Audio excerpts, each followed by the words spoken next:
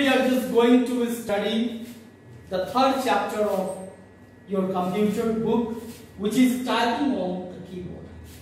In this chapter, we will study about the different keys of a keyboard. Okay?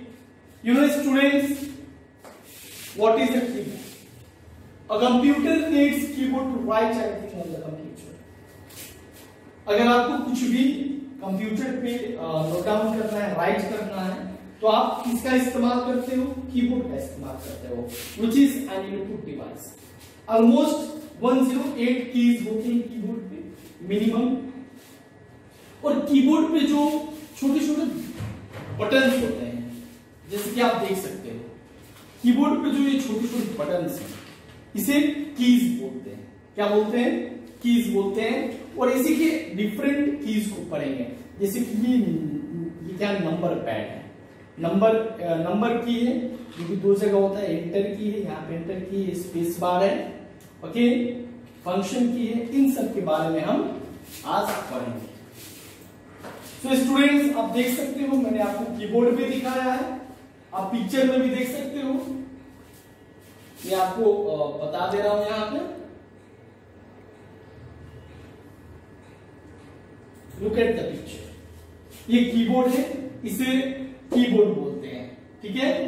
इस पे function keys control keys arrow keys number keypad wrist pad okay special keys ये सब बहुत सारे होते हैं, जिनके बारे में आज हम पढ़ने वाले हैं। अब इस फ़ोटोज़ में भी देख के समझ सकते हो ए से लेकर जेड तक जो कीज होते हैं, उसको अल्फ़ाबेट कीज बोलते हैं।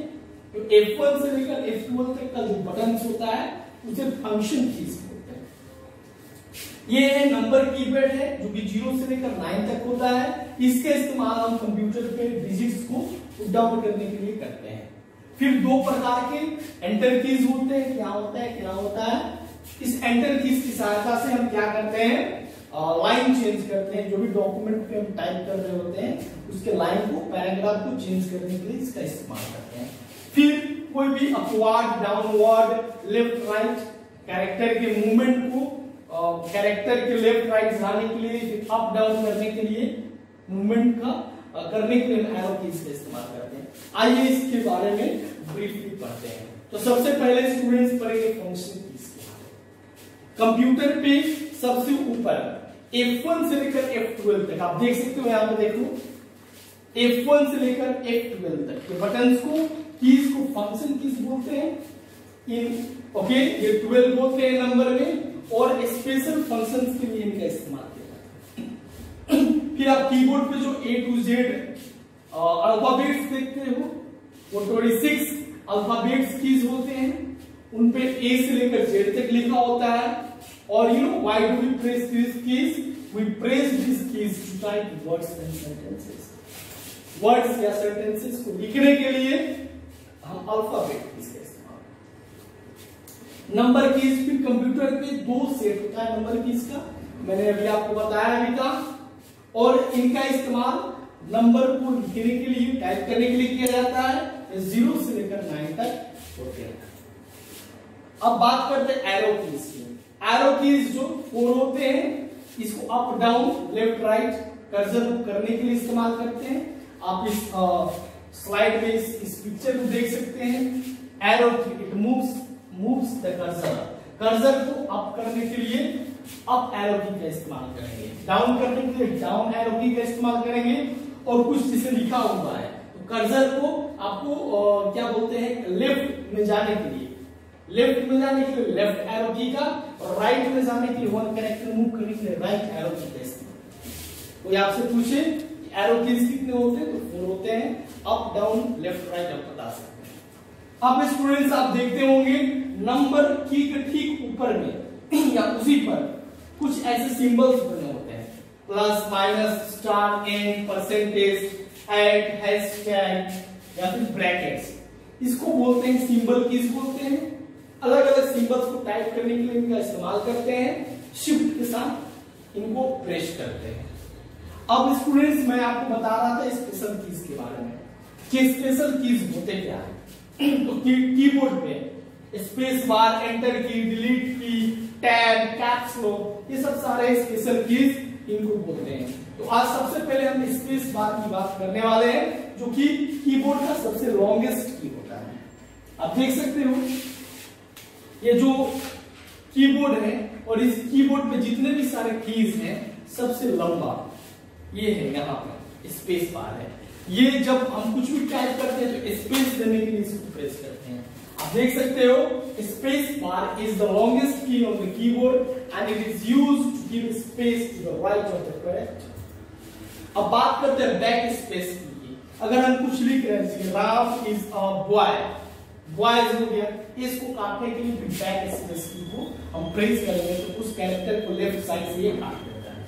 इरेज कर देता है डिलीट कर देता है। और इस पर एरो होता है back space back space arrow दोनों रहेगा या फिर एरो रहेगा? एरो तो रहना ही रहना है। ठीक है? इसको बैक स्पेस की बोलते हैं। इसके अलावा डिलीट की डिलीट की भी आपको कीबोर्ड पे इजीली मिल जाएगा।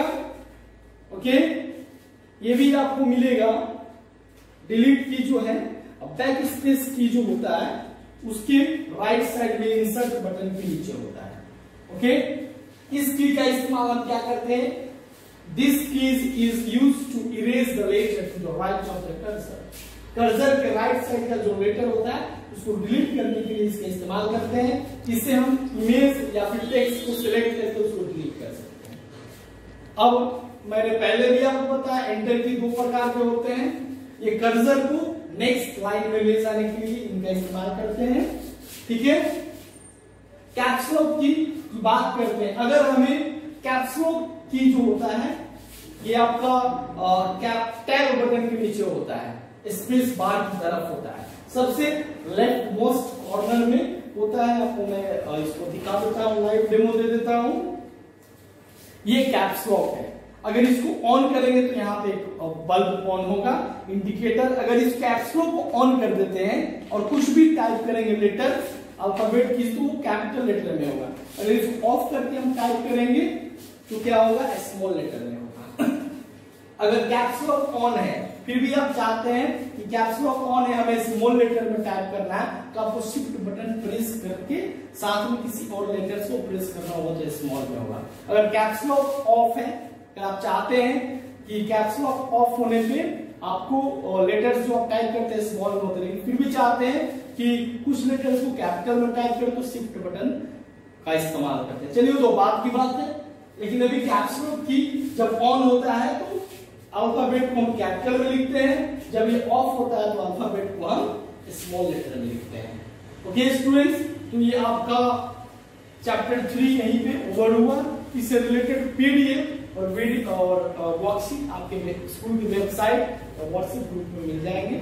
मिलते हैं अगले वीडियो में। Thank you